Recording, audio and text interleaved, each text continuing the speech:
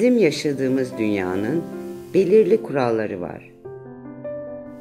Güneş batınca ay görünür ve gökyüzünde yıldızlar parlar. Dünya ve diğer gezegenler belirli zamanlama ile dönerler ve çarpışmazlar. Sular yukarıdan aşağı doğru akarak nehir olur ve son olarak denize karışır. Soğuk kış günlerinden sonra mutlaka bahar gelir ve çayırlarda çiçekler açar. Bu şekilde doğanın gizemi bizi şaşırtır. Bu muhteşem dünyayı yaratan Tanrı'yla bizim aramızda da ruhsal kurallar var. Tanrı sizi seviyor ve sizin için harika planları var.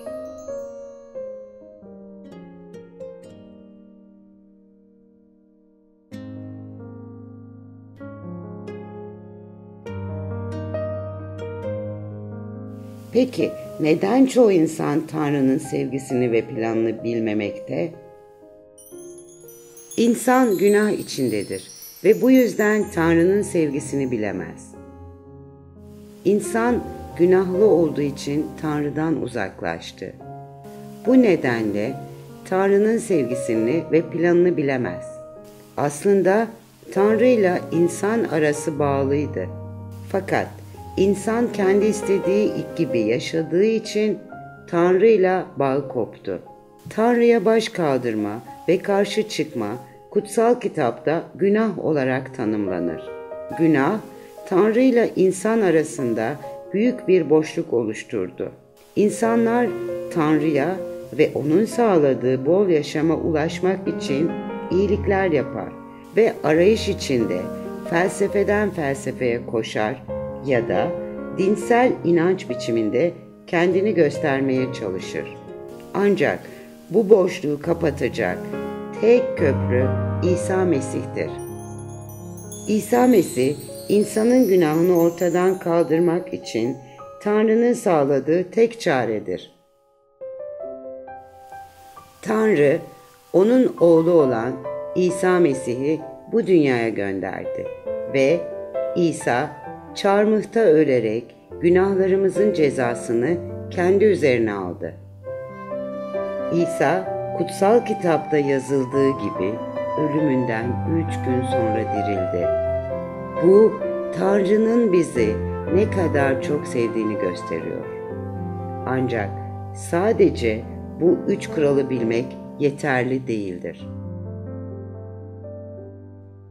Biz kişisel olarak İsa'yı yalnız kurtarıcı olarak değil, Tanrı olarak da kabul etmeliyiz. Tanrı'nın sevgisini ve yaşamımız için olan harika planını bilip, keşfedip yaşayacağız. Biz bireysel olarak İsa Mesih'i kalbimize davet edebiliriz.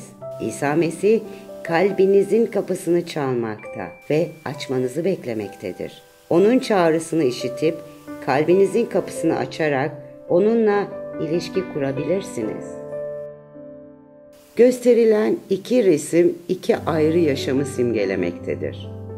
Bütün ilgi alanları benlikçe yönlendirilen kişi Mesih'i yaşamın dışında bırakır. Her şeyi kendisi karar verdiği için sıkça hayal kırıklığına uğrar ve karmaşa içinde yaşar.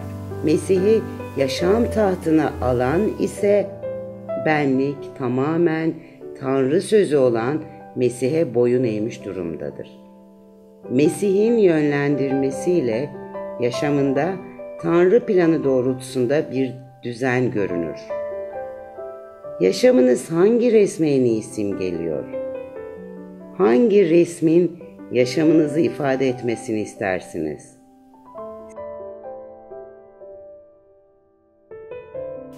Siz hemen şimdi dua edip İsa Mesih'e iman edebilirsiniz. Dua Tanrı ile konuşmaktır.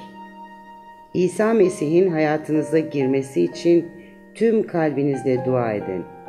Tanrı yüreğinizi biliyor. Ve sözlerinizden ziyade yüreğinizin arzusuna daha çok önem veriyor. Şöyle dua edin. İsa Mesih, sana iman etmek istiyorum.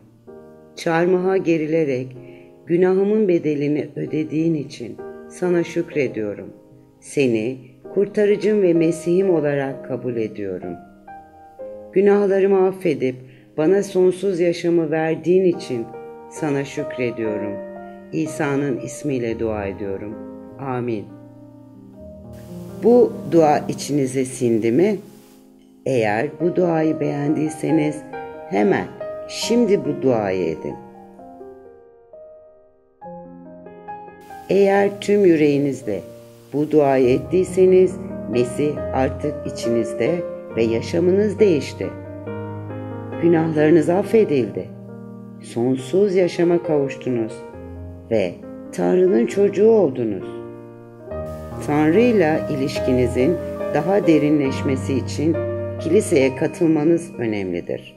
Ateşin içine bir tane odun atarsanız uzun sürmeden ateş köz olur. Fakat birçok odun atarsanız ateş uzun süre yanar. Sizinle diğer Hristiyan kardeşler arasındaki ilişki de böyledir. Tanrı'nın sözünü doğru şekilde öğreten kiliseye gidin ve pastörün önderliğini takip edin. Diğer Hristiyan kardeşlerle beraber kiliseye katılırsanız Mesih'i daha iyi tanıyabilir ve Tanrı'nın istediği gibi yaşamınız bereketli olur.